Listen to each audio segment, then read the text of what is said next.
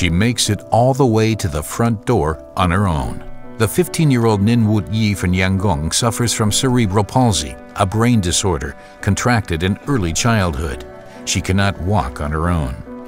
Still, just like other children in Myanmar, she attends school.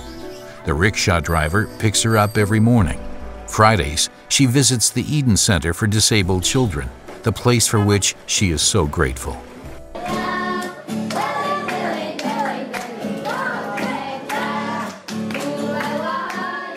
The day begins with singing and dancing.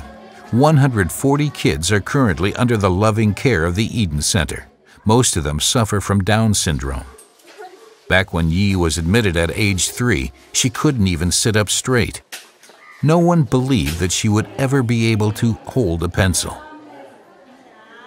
Two operations were unsuccessful. But Eden's physiotherapists were able to help.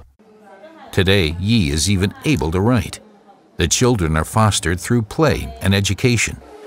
The first exercises in reading and writing take place, and there is a therapy pool for kids with a wide range of disabilities to get help moving their bodies. The goal of the Eden Center is to give disabled children from poor family a chance, a qualitative service so that they can be integrated into normal society.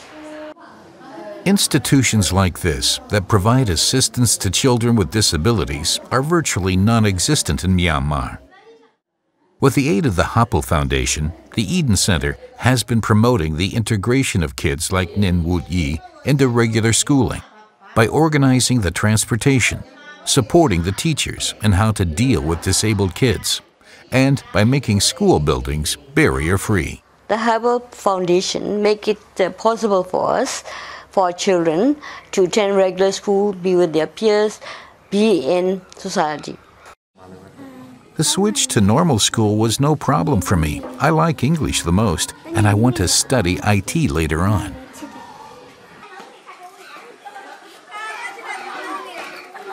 Wei Yi is one of the girls who come here when the Eden was started. So she was, uh, she has a widowed mother and the mother sells vegetable and she looks after her.